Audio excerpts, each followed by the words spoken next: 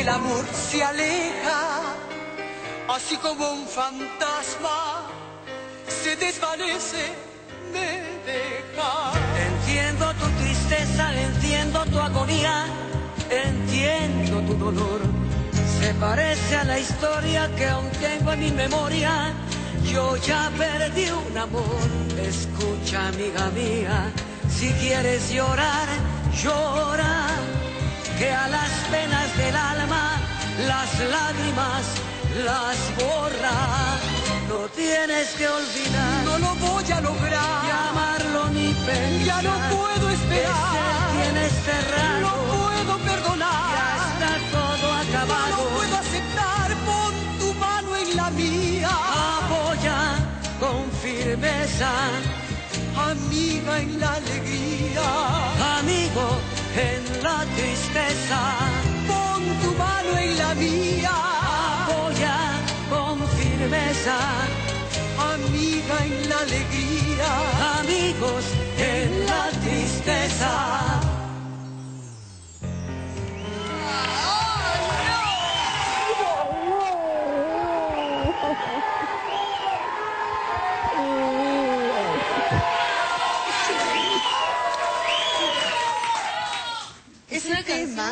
Ese tema yo lo mandé a hacer para hacerlo contigo. Pero tú te fuiste de viaje, Sí, ¿no? Entonces se me quedaba inconcluso porque pertenece al disco de la protagonista. claro. Entonces yo quería hacerlo porque era como sellar, Mm. ¿no? Que nuestra amistad está sellada, pero que quedara ahí perennizada, ¿no? Claro, pero, pero- pero te digo, saliste ganando, porque entre una chata local a un chato internacional, por favor, saliste ganando, Bueno, saliste ganando. fue, fue maravilloso, sí, realmente Claro. llamar a Armando y que me dijera, sí, voy, Claro, ¿no? claro que sí. Y entonces, bueno, se, se hizo esto, pero... Bueno, pero, pero ya, no canté esa vez contigo, pero ahora me saco el clavo. Ahora sí. Ahora cantamos. ¿Lo hacemos? ¿En serio? Y, y esto, por favor, como llega a, a YouTube, somos internacionales ya está, ahora, sale, así que por favor, Sale, sale. agárrense. A ver, vamos a ver, maestro. Maestro, cuando quiera, por favor.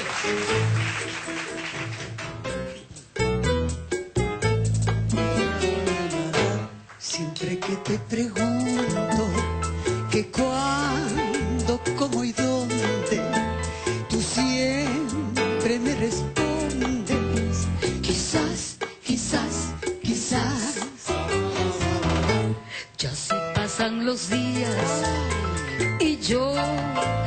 desespero.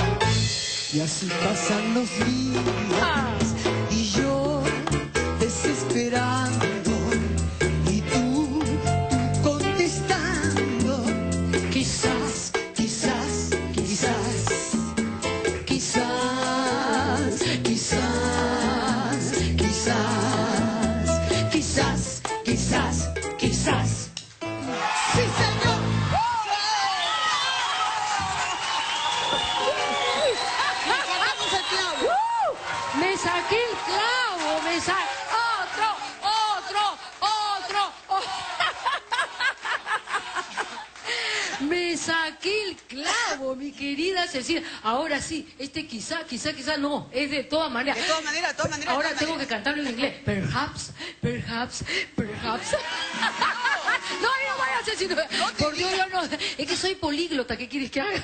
Políglota.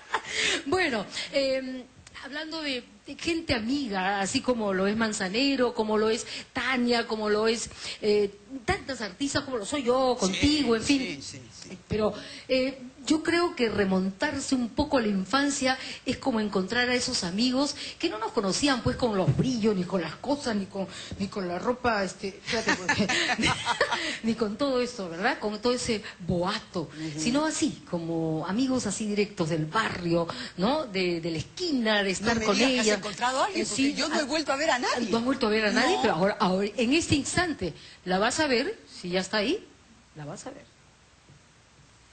Nosotros nos conocemos desde que ella ha nacido. Mi mamá se casó y fue a vivir al lado de la señora Julia. Otro, la cuadra 6 era un barrio cerrado. Ahí terminaba Angaraes. Comenzaba desde el fondo de Pericotes hasta donde nosotros, que decían ratonera. Ese era el barrio de nosotros. Siempre hemos estado juntos, en las buenas y en las malas. Jugábamos todas las chicas del barrio, los muchachos del barrio, jugábamos. Ceci jugando su fútbol. Y jugaba muy bien, ¿ah? Traviesa. Era, pero... Paraba colgada como un murciélago de todos lados, paraba. La bañábamos. Era una trompeadera para bañarla, pero la bañábamos ahí, porque no le gustaba el agua de chica. Y en una actuación del seguro yo la llevé a cantar a ella. Se trajo el público abajo en el hospital.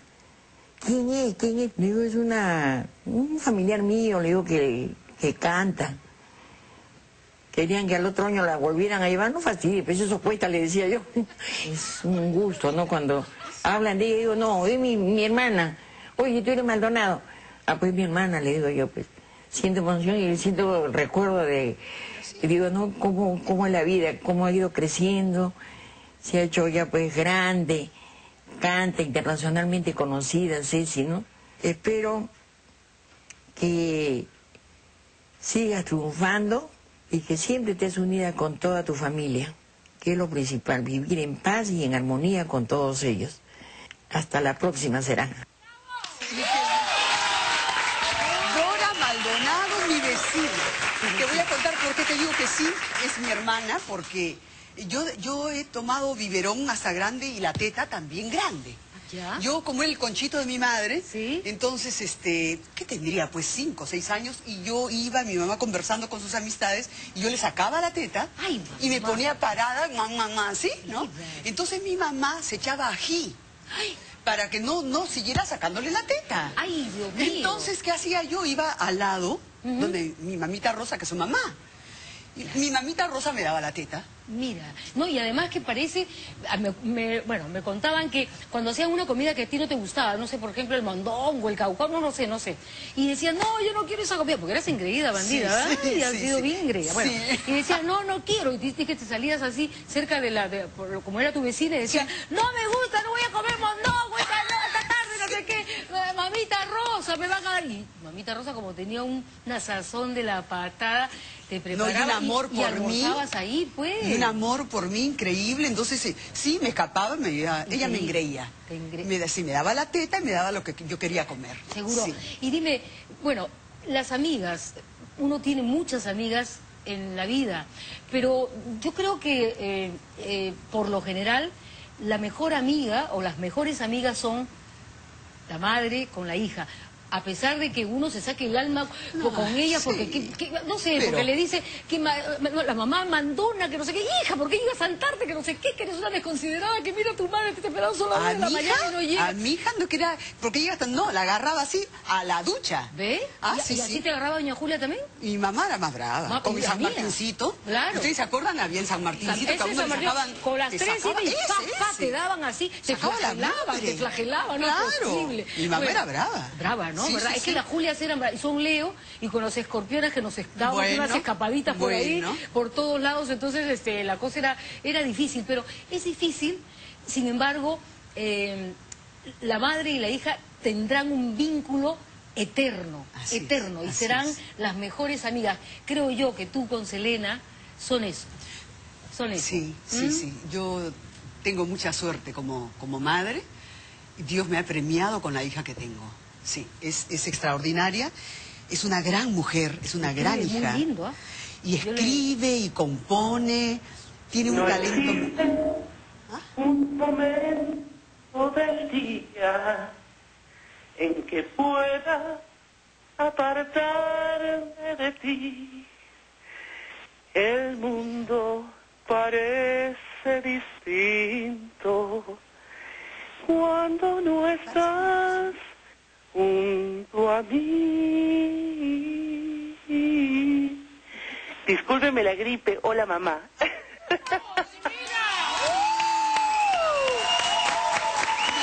Gorda. ¿Está, está? Está ahí, claro. No es una grabación, está... Hola Selena, ¿cómo estás? Titi preciosa, barraza dorada, ¿cómo estás? Te Adoro. Mi gorda, mi gorda. Es, es Hola, maravillosa. madre. Hola, amor. ¿Qué haces tú aquí? Feliz, feliz de que estén celebrando tu vida porque ya en dos días cumples 15 años por cuarta vez. Entonces ya, ya, ya te das cuenta. Entonces, Las cosas que me hacen. Oye, a esta, a esta ni la gripe la aguanta, oye. No, nada. Oye, está con... se manda con todo. Dime, Selena. estás linda. ¿Ah? Es que Selena no está aquí, está en Estados Claro, Unidos, claro. está hablándote desde lejos y así que no te va a contagiar el resfrío. no. Felizmente, Sí. felizmente. No, de ella no importa. Hace un frío tremendo acá, discúlpenme, hubiera cantado más, pero no se pudo porque estoy con la garganta hasta las patas. Además que cantando con ustedes no se vale, pues hoy uno se No, esconde. no, no. Oye, eh, perdón, Selena, Selena querida, tú una vez contaste una anécdota de, con tu mami, justamente. Ella, eh, tú sabes, eh, trabajaba, ha trabajado siempre, bueno, de noche en locales, iba a cantar, en fin, se- cuando se estaba poniendo regia, se vestía y todo.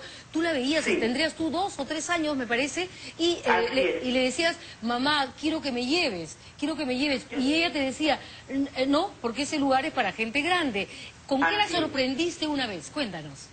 Bueno, eh, como me daba tanta cólera que ella se fuera a trabajar en las noches y yo pataleaba, pero no mucho, sino trataba de que me llevara, eh, me puse un día sus tacos para que por favor me lleve, porque ella me- ella me había dicho que solamente iba la gente grande.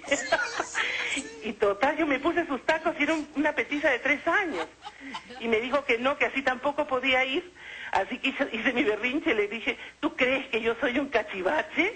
Con una seriedad, era un drama.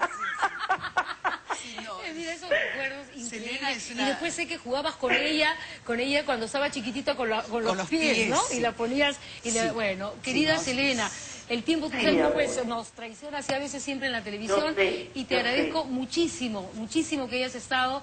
Eh, siempre, siempre sé que estás en los momentos que tu madre más te necesita. Quizá este sea un, quizá este sea un momento así de, de- de divertimento, de pasarla Sí. bien, pero yo sé que cuando tu madre estuvo muy al fondo, con una depresión muy grande, eh, recurrió a ti, fue, acudió a ti y tú la escuchaste y estuviste con ella. ¿Cómo están? Mi madre y yo somos grandes amigas y así será siempre. Sí, y yo creo que Selena, ese, ese es el sueño que yo siempre eh, tuve, ¿no? Eh, Era mi gran deseo tener este un hijo. Me salió mi gorda, porque yo pensaba en un hombrecito, pero Sí. salió ella. Y ella es mi mejor amiga realmente, y es una, es una chica que, que me da lecciones de vida. Es, es maravillosa, su, su, su, eh, su espiritualidad es, es extraordinaria y a mí me enseña y me enriquece muchísimo. Muy bien, muy bien. sí, sí. Gracias, Elena. Muy gracias. Gracias, amor. Un beso para ti, gracias. Bueno, Ceci, estamos llegando casi ya, agarra tu micro, por favor. Estamos llegando ya casi al final del programa. Quiero acompañarte, te vuelvo a acompañar. La